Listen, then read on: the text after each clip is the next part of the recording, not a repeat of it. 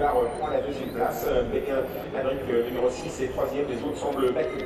La ligne droite avec numéro 10, Mathieu du Châtelet. Il n'y a plus qu'à assurer pour Mathieu Rivard. Rivard prend une bonne deuxième place actuellement avec le 5, Brooklyn Bridge à quelques longueurs. On a encore sa chance pour la troisième place avec le 4, Basiati Sebel qui attaque numéro 6, Béguin, Henrik avec une victoire pour Nicolas Rimbaud, Rivard dans ce prix Édouard Martillac. La nouvelle épreuve, des nouvelles épreuves de l'hiver réservées à la déclaration des 3 ans.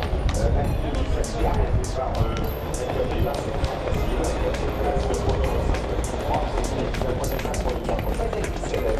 Va je ne sais quoi.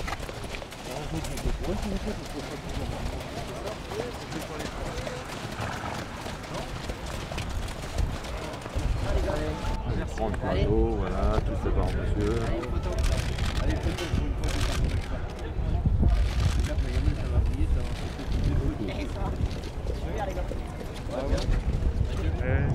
Je te demande 70 000 en... Nico, bravo, c'était une victoire attendue. Ah bah attendu oui sur ce qu'il venait de faire. Maintenant Mathieu euh, il a fallu qu'il serre les fesses parce que il avait du gaz. Oui, au début, on l'a vu, il est parti sur un, sur un temps de galop.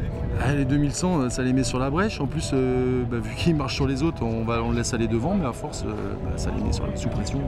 Est-ce qu'il te surprend ce cheval?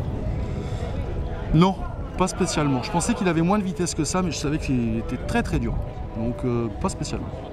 Tu as des points de comparaison par rapport aux autres générations?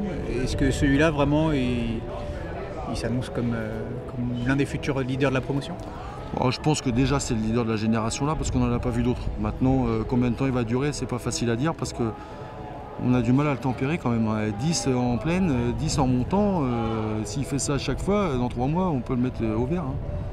Bon, En tout cas, il n'est pas comme le PSG, lui, il gagne. Mais, arrête avec Monaco parce que je te jure, il y a deux buts de Paris l'autre jour, hein, contre son camp mais.